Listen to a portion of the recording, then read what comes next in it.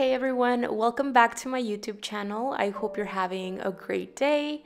And in today's video, I'm going to be sharing my painting process for a still life arrangement in watercolor. Still life art is something that I've been drawn to since pretty much the beginning of my artistic journey. I think there's something beautiful in acknowledging the importance and the interesting aspects that everyday common objects around us have. And there's just something very comforting for me about sitting down and focusing on simple objects that we often take for granted that we're always going to have or that we can easily replace. Um, and making time to render them in my own way and bring out their beauty in my own way. And I think that currently, as we're all going through this crazy, uncertain time together, staying mindful and being grateful for what we have is just so very important. So, yeah, I was inspired to work on this more complete still life composition because I've definitely painted objects lately, but it's been a while since I last painted a complete still life arrangement. And I have to say that I really enjoyed this. And I really wanted to share this painting process in hopes that it'll hopefully inspire some of you out there.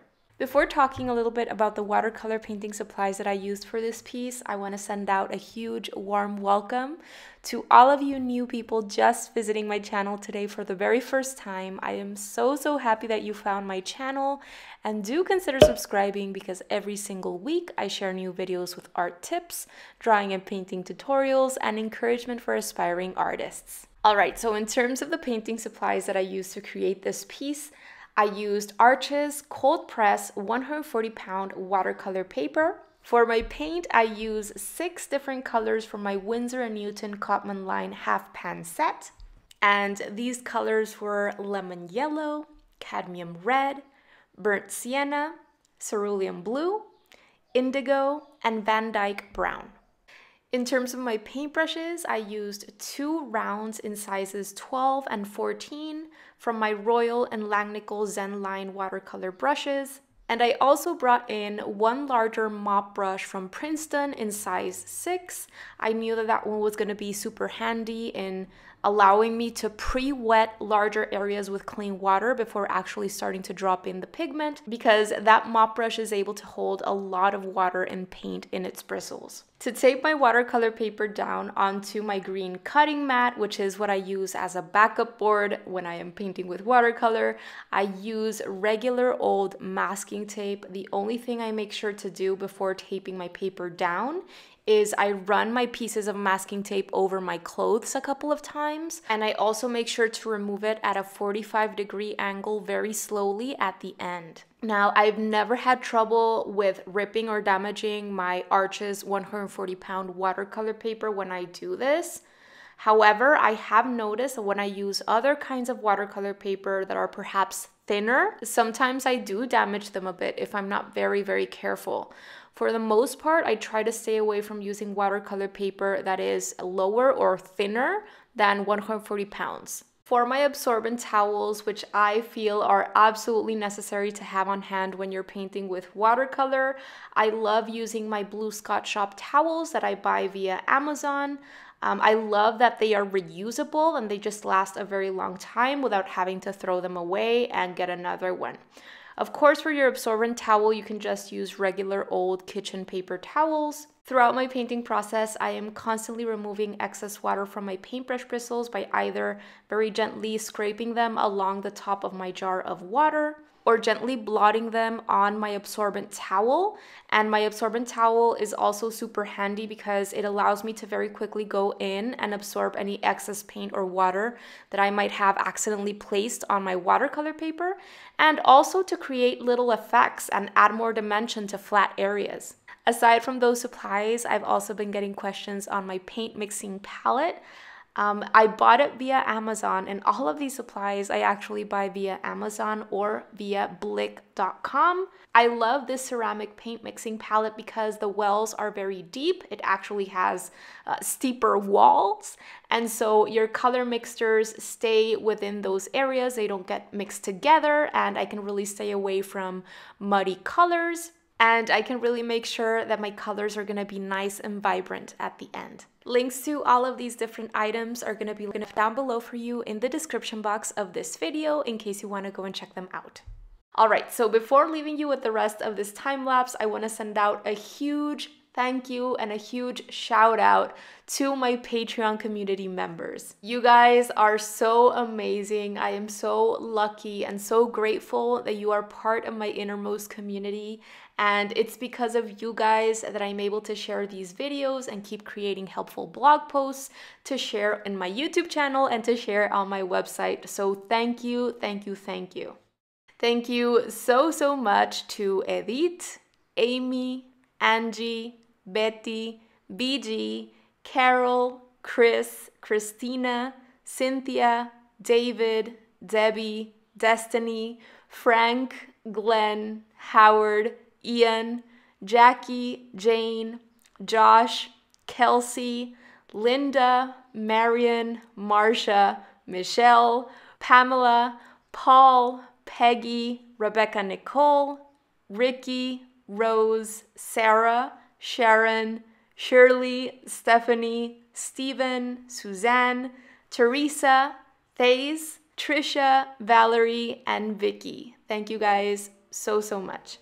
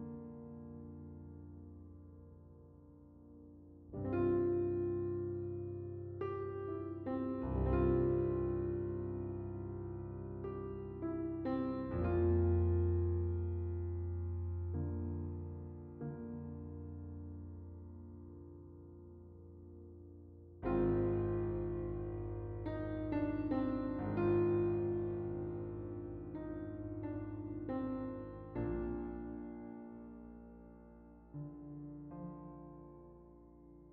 Alright everyone, that is it for today's video. I really hope that you enjoyed it and that you found it helpful.